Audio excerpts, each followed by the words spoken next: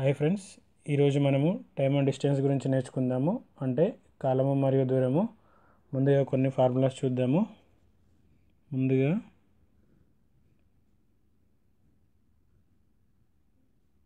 DTS DTS ఈ DTS గురించి తెలిస్తే మనకి ఫార్ములాస్ ఈజీగా వస్తాయండి. డిటిఎస్ డి అంటే డిస్టెన్స్ టి అంటే టైము ఎస్ అంటే స్పీడు. ఇప్పుడు మనకు డిస్టెన్స్కి ఫార్ములా ఏంటంటే డిస్టెన్స్ కావాలంటే టైం ఇంటూ స్పీడ్ అన్నమాట. Distance is equal to speed into time అన్నమాట. అదే ఒకవేళ మనకు స్పీడ్ కావాలనుకోండి డిస్టెన్స్ బై టైం అన్నమాట.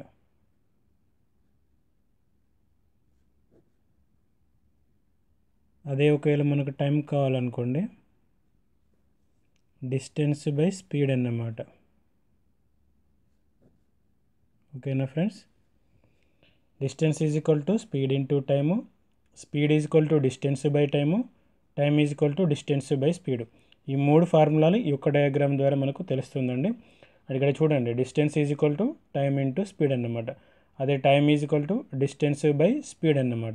అదే speed is equal to distance by time అన్నమాట. ఈ ఈ త్రీ ఫార్ములాస్ నేర్చుకునడం కంటే ఈ యొక్క డయాగ్రామ్ గుర్తుంచుకున్న సరిపోతుంది అన్నమాట మనకి ఒకవేళ స్పీడ్ అనేది కిలోమీటర్ పర్ అవర్ ఇచ్చారనుకోండి దాన్ని మీటర్ పర్ సెవెన్ అంటే మీటర్ పర్ సెకండ్లోకి మార్చుకోవాలంటే మనము ఇచ్చిన దాన్ని ఫైవ్ బై ఎయిటీన్తోని మల్టిప్లై చేయాలి. ఫైవ్ బై ఎయిటీన్తోని మల్టిప్లై చేయాలి. ఫర్ ఎగ్జాంపుల్ మనకు టెన్ కిలోమీటర్ పర్ అవర్ అని ఇచ్చాడు. టెన్ కిలోమీటర్ పర్ అవర్ అని ఇచ్చాడు. దీన్ని మనం మీటర్ పర్ సెకండ్లోకి మార్చుకోవాలంటే ten into five by eighteen చేయాలి. Ten into five by eighteen చేస్తే టూ ఫైవ్ జార్ two nine jar. Five into five twenty five by nine metre per second అన్నమాట. ఇట్లా టెన్ కిలోమీటర్ పర్ అవర్ అని ఇస్తే దాన్ని metre per సెకండ్లోకి మార్చుకోవాలంటే ఇచ్చిన దాన్ని ఇంటూ ఫైవ్ బై ఎయిటీన్ చేయాలి. అదే ఒకవేళ మనకు మీటర్ పర్ సెకండ్ ఇచ్చి కిలోమీటర్ పర్ అవర్ మార్చుకోవాలనుకుంటే ఎయిటీన్ బై ఫైవ్తోని మల్టిప్లై చేయాలి. ఎయిటీన్ బై ఫైవ్తోని మల్టిప్లై చేయాలి. ఫర్ ఎగ్జాంపుల్ మనకి థౌజండ్ మీటర్ సిక్స్టీ సెకండ్స్లో జర్నీ చేసాడు అనుకుందాం దాన్ని మనం kilometre per hour మార్చుకోవాలంటే thousand divided by sixty into eighteen by five చేయాలి. థౌజండ్ మీటర్స్ని సిక్స్టీ సెకండ్స్లో జర్నీ చేశాడంట. థౌజండ్ మీటర్స్ని సిక్స్టీ సెకండ్స్లో జర్నీ చేశాడు. కిలోమీటర్ పర్ అవర్ మార్చుకోవాలంటే ఏం చేయాలి? ఇంటూ ఎయిటీన్ బై ఫైవ్ చేయాలి కదా. జీరోకి జీరో క్యాన్సిల్ అయిపోతుంది. సిక్స్ వన్ జార్ సిక్స్ త్రీ జార్ ఫైవ్ వన్ జార్ five twenty jar. Twenty into three sixty kilometre per hour అన్నమాట. అర్థమైంది కదా ఫ్రెండ్స్? ఒకవేళ మనకు మీటర్ పర్ సెకండ్ ఇచ్చి కిలోమీటర్ పర్ అవర్ మార్చుకోవాలంటే ఇంటూ ఎయిటీన్ బై ఫైవ్ చేయాలి. లేదా కిలోమీటర్ పర్ అవర్ ఇచ్చి మీటర్ పర్ సెకండ్ మార్చుకోవాలంటే ఇంటూ ఫైవ్ బై ఎయిటీన్ చేయాలన్నమాట. ఇప్పుడు ఫస్ట్ క్వశ్చన్ చూద్దాం. A car covers a distance of five forty kilometres in nine hours? Then what is the speed of a car ఒక car ఐదు వందల నలభై కిలోమీటర్లని తొమ్మిది గంటలలో జర్నీ చేస్తుందట. సో కారు యొక్క స్పీడ్ ఎంత అని అడుగుతున్నాడు మనని. సో స్పీడ్కి ఫార్ములా ఏంటి మనది? స్పీడ్కి formula distance by time distance by time distance ఎంత ఇచ్చాడు మనకి? ఫైవ్ ఫార్టీ కిలోమీటర్స్ ఇచ్చాడు. So five forty by time ఎంత? నైన్ అవర్స్ ఇచ్చాడు. ఫైవ్ ఫార్టీ బై నైన్ ఎంత ఎంత? నైన్ వన్ జార్ nine six jar. So sixty kilometre per hour అన్నమాట. సిక్స్టీ కిలోమీటర్ పర్ అవర్ అనేది మన ఆన్సర్. ఓకేనా ఫ్రెండ్స్? ఇప్పుడు సెకండ్ ఇంకొక ప్రాబ్లం చూద్దాం. A man travel a man travelled first two hours at a speed of seventy kilometre per hour and next two hours at a speed of fifty kilometre per hour? Find the average speed అని అడుగుతున్నాడు.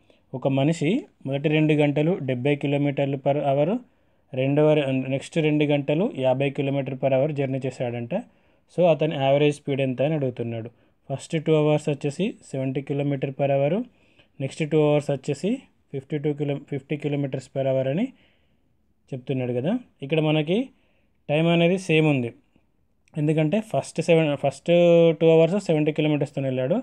Next two hours fifty కిలోమీటర్స్తో వెళ్ళాడు. అంటే half of the distance seventy kilometres half of the distance fifty kilometres లెక్క చొప్పున వెళ్ళాడు కదా.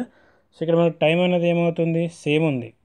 Time అనేది సేమ్ ఉంది. ఫస్ట్ సెవెంటీ కిలోమీటర్స్ అంటే గంటకి డెబ్బై కిలోమీటర్ల చొప్పున ఫస్ట్ రెండు గంటలు వెళ్ళాడు. గంటకి యాభై కిలోమీటర్ల చొప్పున సెకండ్ రెండు గంటలు వెళ్ళాడు. ఇక్కడ టైం అనేది మనకి ఏమైంది? సేమ్ అయింది. టైం అనేది సేమ్ ఉన్నప్పుడు మనకి ఏం చేయాలంటే యావరేజ్ ఎలా కనుక్కోవాలంటే A plus B by two అనే ఫార్ములా ద్వారా చేయాలి. ఇక్కడ ఏ అంటే సెవెంటీ అనుకోండి బి అంటే ఫిఫ్టీ అనుకోండి. యావరేజ్ ఫార్ములా ఏంటి? టైమ్ సేమ్ ఉన్నప్పుడు A plus B by two A అంటే ఎంత?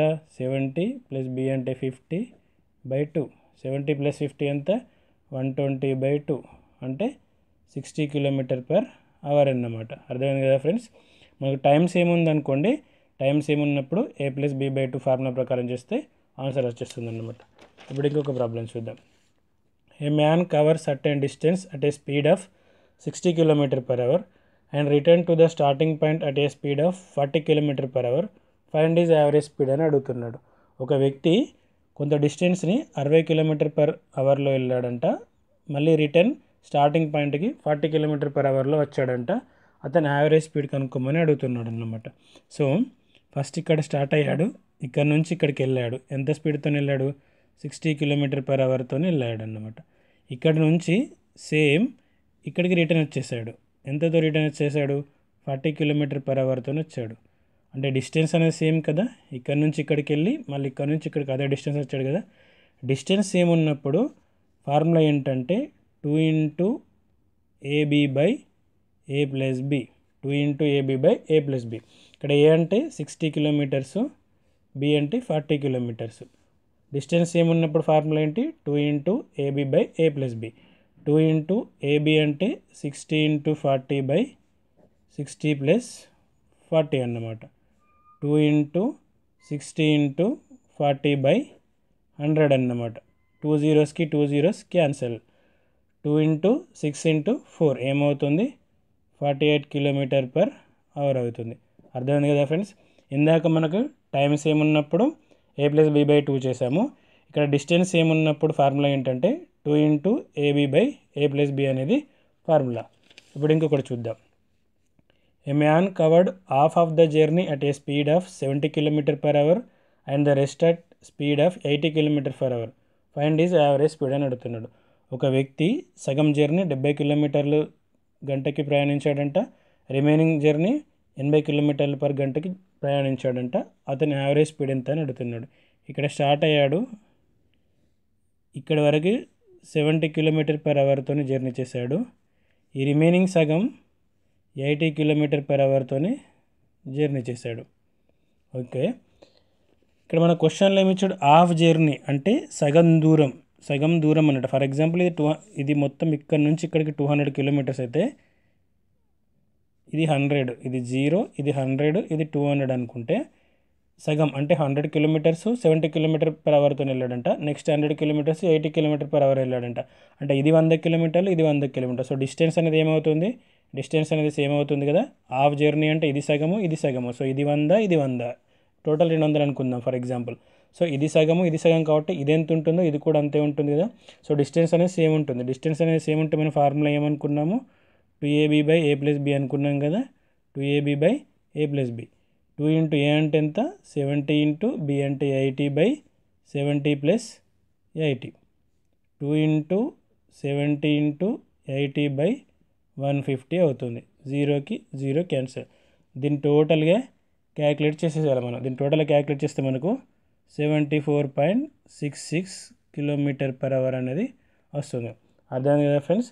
హాఫ్ డిస్టెన్స్ అన్నప్పుడు సగ దూరం రిమైనింగ్ ఆఫ్ సగ దూరం సో డిస్టెన్స్ అనేది సేమ్ ఉంటుంది. డిస్టెన్స్ అనేది సేమ్ ఉంటే ఫార్ములా ఏంటి?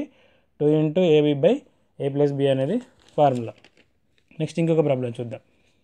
Car A starts from city X and travel towards Y at fifty kilometre per hour at eight AM and car B starts from city X and travel towards Y at seventy five kilometre per hour at nine AM at what time do they meet అన్నమాట?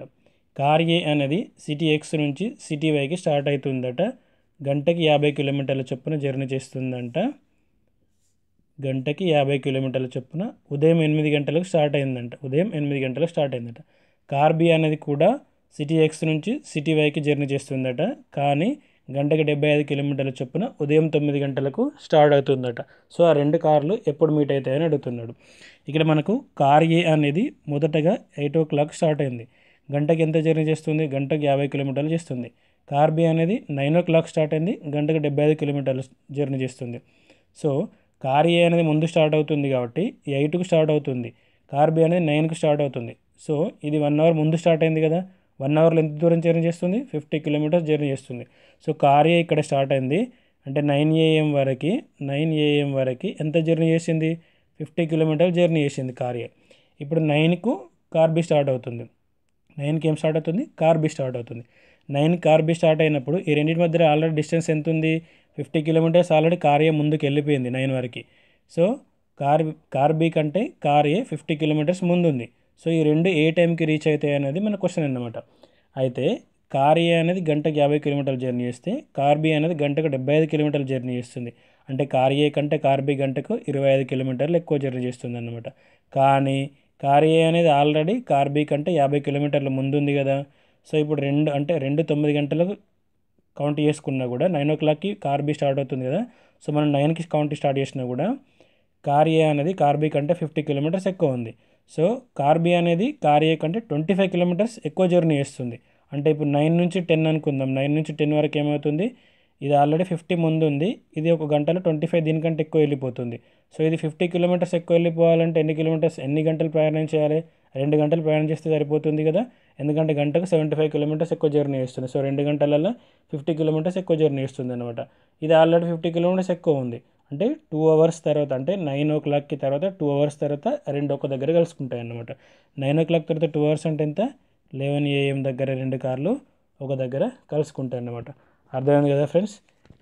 ఇప్పుడు ఇంకొక problem చూద్దాం. Two cars starts from point P and Q which is the speed of forty kilometer per hour and sixty kilometer per hour the total distance between point Q is P and Q is nine hundred kilometers after how many hours they both can meet each other అన్నమాట. P నుంచి Q వరకు తొమ్మిది వందల కిలోమీటర్ల distance ఉందంట. P దగ్గర నుంచి ఒక కార్ స్టార్ట్ అవుతుందట కార్ ఏ అనుకుందాం. క్యూ దగ్గర నుంచి ఇంకొక కార్ స్టార్ట్ అవుతుందట కార్ బి అనుకుందాం. ఈ కార్ ఏ యొక్క స్పీడ్ వచ్చేసి forty kilometer per hour. Car B యొక్క స్పీడ్ వచ్చేసి ఫిఫ్టీ కిలోమీటర్ పర్ అవర్. ఆ రెండు ఎక్కడ మీట్ అవుతాయి అనేది మన అంటే ఎన్ని గంటల తర్వాత మీట్ అవుతాయి అనేది మన క్వశ్చన్ అనమాట ఇప్పుడు కార్ ఏ అనేది ఇటు సైడ్ వస్తుంది కార్ బి అనేది ఇటు సైడ్ వస్తుంది. కార్ ఏ ఇటు కార్ బి ఇటు వస్తుంది కదా. సో రెండు యొక్క స్పీడ్ మనం యాడ్ చేయాలి. ఫార్టీ ప్లస్ ఫిఫ్టీ ఏమవుతుంది? గంటకి నైంటీ కిలోమీటర్స్ అవుతుంది. ఎందుకంటే ఇది ఇటు సైడ్ వస్తుంది ఇది ఇటు సైడ్ వస్తుంది. రెండు మీట్ అవ్వడానికి వస్తున్నాయి కదా. సో ఈ రెండింటి స్పీడ్ యాడ్ చేయాలి. ఇది ఫార్టీ ప్లస్ ఫిఫ్టీ ఎంత? నైన్కి నైంటీ అనమాట టోటల్ డిస్టెన్స్ ఎంత? Nine hundred. Nine hundred by ninety. Nine hundred by ninety చేస్తే ఏమవుతుంది? టెన్ అవుతుంది. నైన్ హండ్రెడ్ బై నైంటీ చేస్తే ఏమవుతుంది? టెన్ అవుతుంది.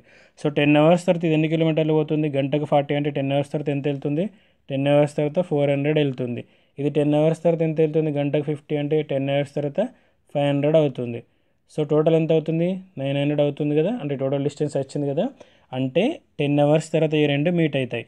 పి నుంచి A four hundred kilometers journey చేస్తుంది? క్యూ నుంచి B five hundred kilometers journey చేస్తుంది.